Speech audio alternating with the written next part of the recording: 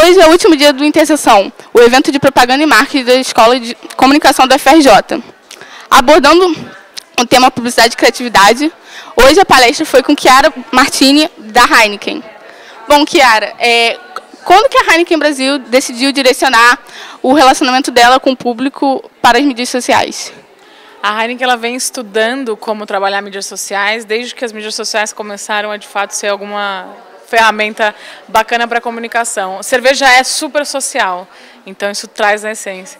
Acho que uma das primeiras grandes ações que a Heineken fez no mundo, né, que reverberou bastante, é uma ação de um final da UEFA Champions League num auditório em Milão, que deve ser de 2008, assim, acho que foi a primeira. Mas a marca vem, desde que a internet é a internet, a marca vem arriscando e aprendendo a como transitar nas redes sociais. Hoje é muito mais forte, mas é uma evolução. E vocês já perceberam alguma mudança do público na receptividade, como eles recebem a marca? Sim, acho que ainda mais aqui no Brasil, como a empresa existe há três anos e vem investindo em comunicação e trade, é muito natural que as pessoas comecem a ouvir mais a marca, a ver mais a marca e comecem a ter uma simpatia ou ah, uma empatia maior, ter uma, mais informação, então começam a interagir mais. Então acho que a gente evolui nessa relação, né? E quais são os benefícios de uma marca como a Heineken se associar a eventos como o Rock in Rio e a Champions League?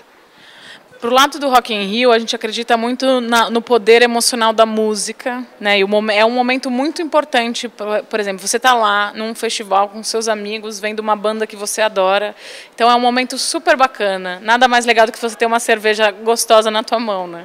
Então compõe-se um ambiente muito legal para a marca estar. Tá.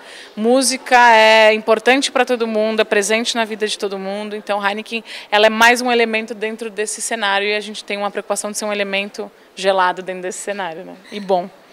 Ah, do lado do futebol, o futebol também é uma grande paixão, é muito conectado ao principal, o público de Heineken é um pouco mais masculino, então o futebol é um, um pilar grande e faz muito sentido porque a Champions League é o futebol premium, né? São os melhores jogadores nos melhores times, então é por isso que a marca tem todo sentido de se associar a uma plataforma como essa.